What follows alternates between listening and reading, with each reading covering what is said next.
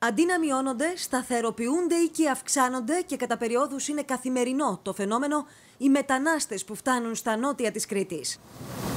Όπως το πλοιάριο με τους 37 ακόμη μετανάστες που εντοπίστηκε από δεξαμενόπλιο 83 περίπου ναυτικά μίλια νότια του νησιού. Σίγουρα είναι ένα πολύ σημαντικό πρόβλημα που αντιμετωπίζει το νησί μας η Κρήτη μας τον τελευταίο καιρό και έχουμε τονίσει εδώ και μήνες ότι το πρόβλημα θα αυξηθεί ιδιαίτερα τώρα στους καλοκαιρινούς μήνες. Οι 37 ανθρώπινες ψυχές περισυνελέγησαν μέσα από το σκαρί που τους μετέφερε, άγνωστο πόσες μέρες, και το δεξαμενόπλιο το πρωί τους οδήγησε στους καλούς λιμένες και από εκεί με λεωφορείο μεταφέρθηκαν στο κτίριο του πρώην υπεραστικού κτέλ στην παραλιακή λεωφόρο του Ηρακλείου.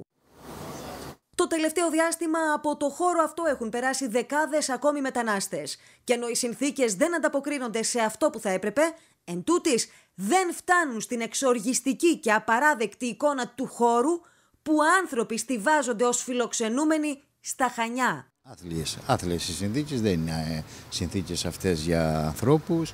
Θα πρέπει αυτοί οι άνθρωποι καταρχάς να τους παρέχουμε ε, σε ένα υγιές, ε, ένα περιβάλλον όπου θα προστατευτούν και η ίδια αλλά και η δημόσια υγεία και από εκεί και πέρα να μετακινούνται εκεί που πρέπει να μετακινηθούν στην υπόλοιπη Ελλάδα. Ο πρόεδρος του Λιμενικού Ταμείου Χανίων ήδη έχει καταθέσει έγγραφη αναφορά στον Ισαγγελέα και έχει γίνει έκκληση για παρέμβαση.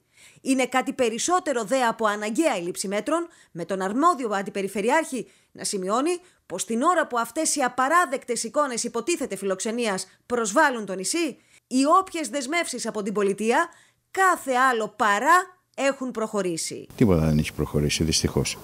Με έγγραφη αναφορά μου στον Εισαγγελέα Χανίων, προτείνω να δοθεί εντολή για χρήση των εγκαταστάσεων του θεραπευτηρίου ψυχικών παθήσεων ή άλλων αναξιοποιητών χώρων του δημοσίου, προκειμένου νόμιμα οι άνθρωποι που φτάνουν στην Κρήτη να φιλοξενούνται κάτω από αξιοπρεπείς και ασφαλείς συνθήκες μέχρι την πρόθεσή τους σε κέντρα υποδοχής της υπηρετικής χώρας. Προτείνοντα ενδιαφέρει χώροι να παρέχουν υγιεινή και ασφάλεια και για εμάς και για τους φιλοξενούμενους. Όπως ανέφερε ο κύριος Βοριάς, αν και το πλαίσιο των μέτρων που περιέγραψε πριν από 1,5 περίπου μήνα ο κύριος Κερίδης είχε πολύ συγκεκριμένα χαρακτηριστικά, εν τίποτα δεν έχει προχωρήσει, ούτε καν στη βάση της οικονομικής ενίσχυσης της αυτοδιοίκησης, αλλά ούτε και της εξέβρεσης χώρου αξιοπρεπούς φιλοξενίας. Δεν είναι με ανθρώπινες συνθήκες, θα πρέπει εδώ πέρα να δείξουμε την ανάλογη ευαισθησία, αλλά σίγουρα δεν είναι και ευθύνη των Δήμων ε, να αναλαμβάνουν πρωτοβουλίες. Είναι καθαρά ευθύνη του Υπουργείου. Ο Αντιπεριφερειάρχης Κοινωνικής Πολιτικής και Αλληλεγγύης επανέλαβε ότι η όχληση στο Υπουργείο θα είναι άμεση,